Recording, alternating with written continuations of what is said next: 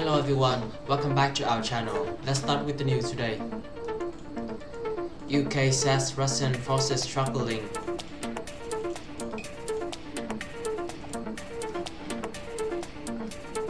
About 20,000 people have managed to escape the besieged port of Mariupol in private car, Ukraine's Interior Ministry said on Wednesday, but hundreds of thousands remain trapped by Russian shelling, many without heating, power and running uh, waters.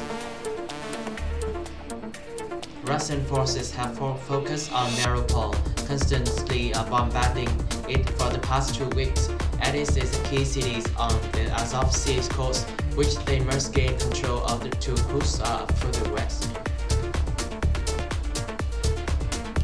Ukrainian officials estimate that more than 2,500 uh, residents had been killed in the fightings and at least uh, 200,000 are in urgent need of uh, evacuation.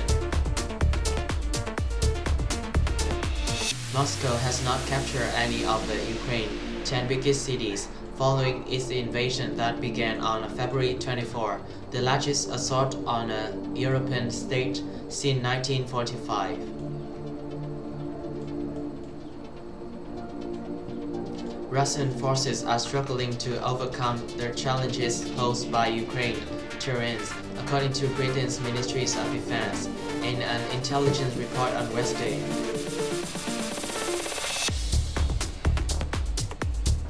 Russian troops have remained largely tied to Ukraine road network and have demonstrated a, uh, a reluctance to conduct off-road maneuvers.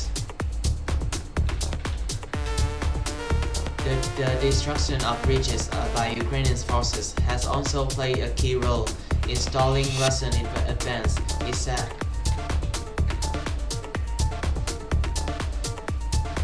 And Russia's continued failure to gain control of the air has drastically limited its option.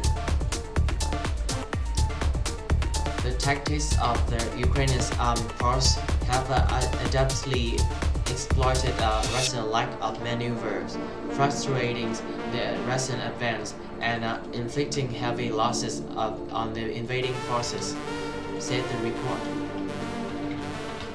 Russia called its uh, actions a special military operation to demilitarize and uh, denazify Ukraine. Ukraine and Western allies call this a baseless pretext for a world that has raised fears of wider conflicts in Europe. This is the end of our news today. If you like this video, please like and subscribe for our channel. Thanks for watching and see you next time.